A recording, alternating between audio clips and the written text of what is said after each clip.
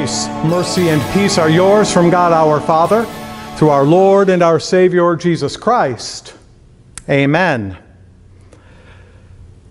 Arise, walk through the length and the breadth of the land, the Lord said to Abraham, for I will give it to you. This is the word of the Lord. In the name of Jesus, amen. With a length of about 145 miles and a breadth of anywhere between 30 to 60 miles, the square mileage of the Holy Land is somewhat less than that of New Jersey.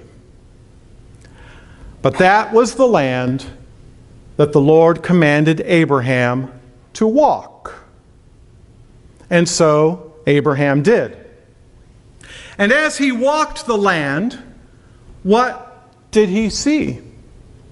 Well, along the coast of the Mediterranean Sea, the western portion of the Holy Land, are what are called the coastal plains, flat, level areas. And Abraham would have been, very, been able to walk those areas very easily. But as you move inland, you come to the hill country of Judea, actually, mountain country, with mountains like Gerizim and Tabor, and perhaps the one we're most familiar with, the Mount of Olives. After scaling those elevations, as Abraham would head further inland to the east, he would go into the Jordan Valley. Now, the southern end of the land of Canaan, the Holy Land, is a desert region called the Negev, very barren. A little to the north of the Negev, you have the Dead Sea region. The Dead Sea is the lowest place on the face of the earth at about 1,400 feet below sea level. And it is also the most densely salty water on the face of the earth. In this harsh environment, obviously no fish can live, and there's no vegetation for land animals either. Abraham would have seen that. But as he would move further north, up the Jordan River, he would come to the Sea of Galilee. And that territory was lush and green because of the fresh water of that sea. Well, Abraham was told to walk the Holy Land not just so he could take inventory of what his descendants would inherit from the Lord, but walking the land placing his footsteps throughout that land was to lay claim to that land. That's what kings would do in their lands. They would walk the land to demonstrate that they owned the land. And although Abraham would only own one parcel of land at the time of his death, because the Lord had promised that this land would be given to Abraham and his descendants after him, Abraham walked the land as if the promise had been fulfilled, because that is how sure God's promises are. It seems, if you'll pardon me saying it, that the Lord God had an obsession with this land and with this particular man, Abraham. Abraham, after he had first come to the Holy Land, the land of Canaan, had to sojourn in Egypt because of a famine. But the Lord God saw to it that Abraham returned from Egypt to the land promised to him. And when he and Lot were dividing up the land, the Lord God made sure that the land left to Abraham was the land of Canaan. The Lord God sees a bond between Abraham and the land. The Lord had promised that all the families of the earth would be blessed through Abraham, and that blessing would take place in that particular land.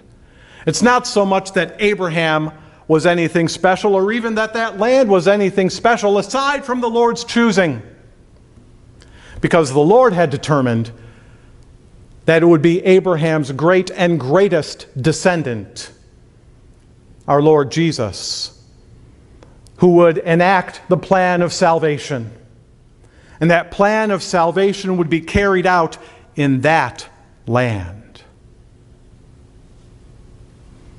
And so, in anticipation of God's promise being fulfilled, the man Abraham walked the land of promise.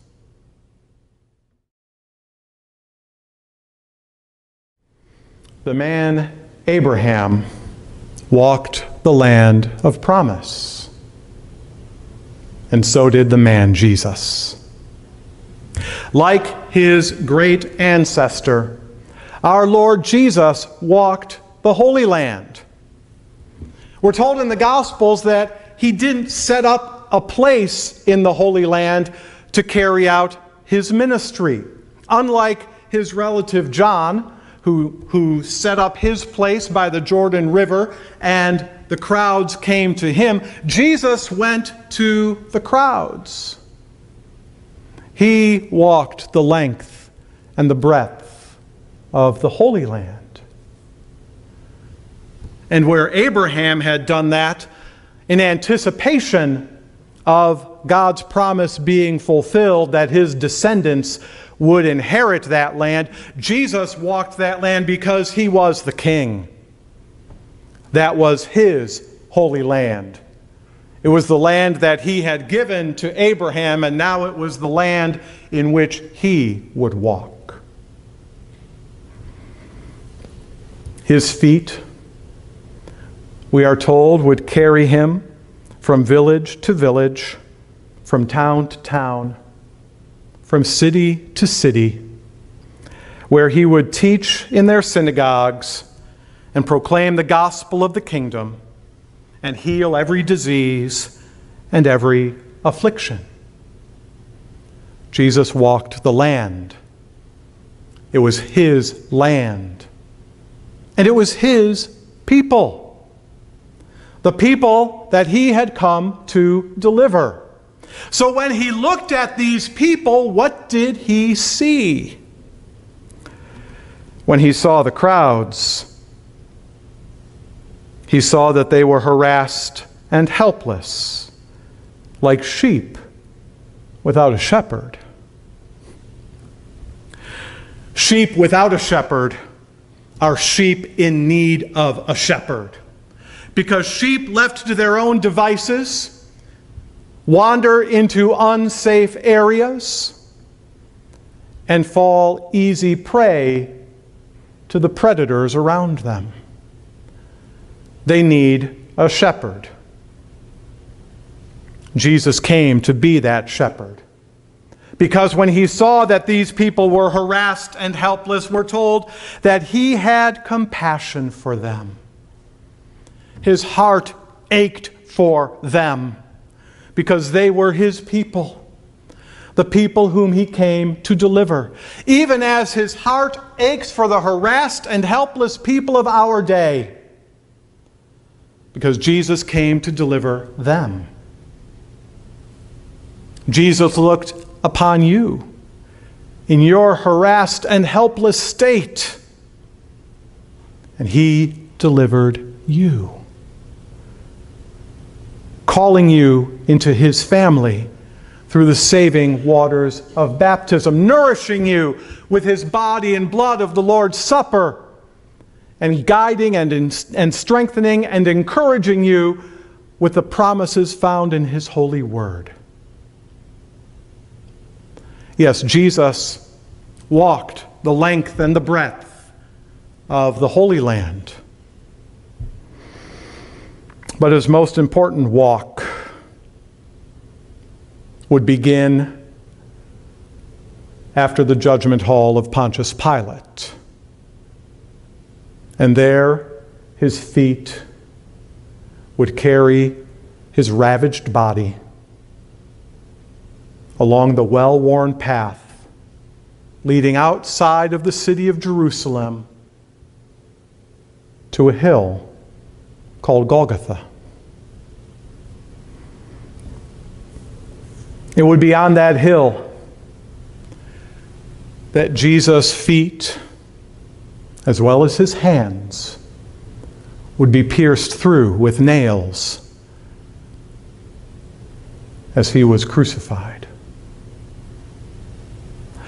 While he was crucified, in order for him to catch a breath, he would have to push up, causing excruciating pain in his feet, so that he could get in some air so he could say things like, Father, forgive them, for they know not what they do.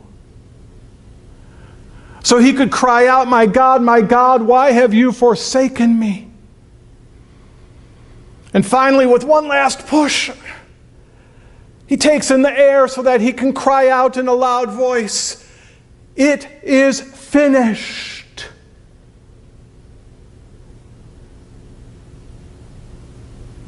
And then, after commending himself into the hands of his Father, Jesus gave up his breath, gave up his spirit. The shepherd who had compassion for those harassed and helpless crowds was a shepherd who laid down his life for them and for us.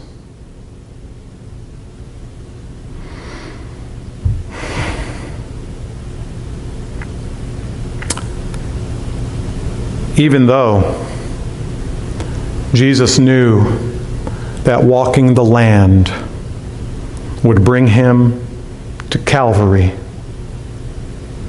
he willingly did so.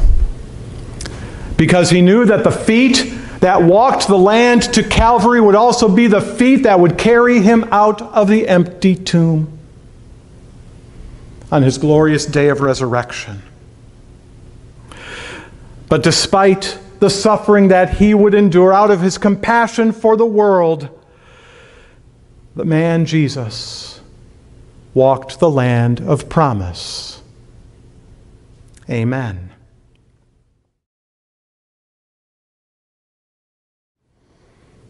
The man Abraham walked the land of promise. The man Jesus walked the land of promise. And so did his church. We're told that Jesus commissioned the 12 apostles to go out in pairs to announce the good news of the kingdom and to call people to repentance. They walked the land of promise as Jesus had, going from town to town and village to village. You and I, as the church of our Lord Jesus, we also walk the Holy Land.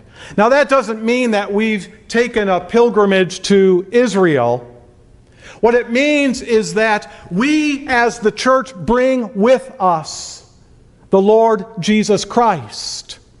So, wherever we set our feet is holy ground. Wherever we go as church into this world, we bring the good news of our Lord Jesus. We bring His Word. We bring His love. When Jesus sent out His twelve, He said, If you come to a place and people are willing to listen, stay there. If they don't want to listen, leave there. In so doing, Jesus warned us that not everyone will welcome the church into their midst. There are those who do.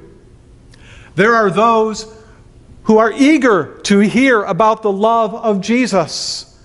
They are eager to receive His compassion through you and me, through His church. But there are others who want nothing to do with the church or with her Lord. Sometimes we are welcomed in such a way it feels like our dusty feet are receiving a foot washing. Other times we are harshly rejected.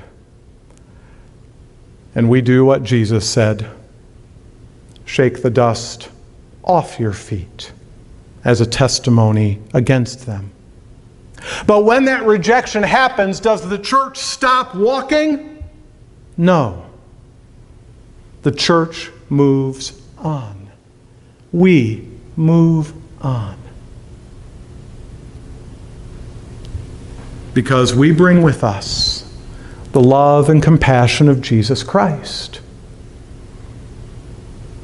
The land where we walk is land that belongs to him because we all know from John 3:16 that God so loved not just a strip of land a little smaller than the state of New Jersey.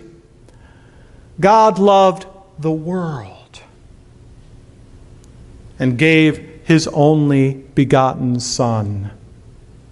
Jesus when he went to the cross did not give his life just for the inhabitants of a strip of land smaller than the state of New Jersey. He gave his life for all. And he directs his church that wherever we go, we are to, as we've been singing about in our hymn, we are to spread the reign of God the Lord.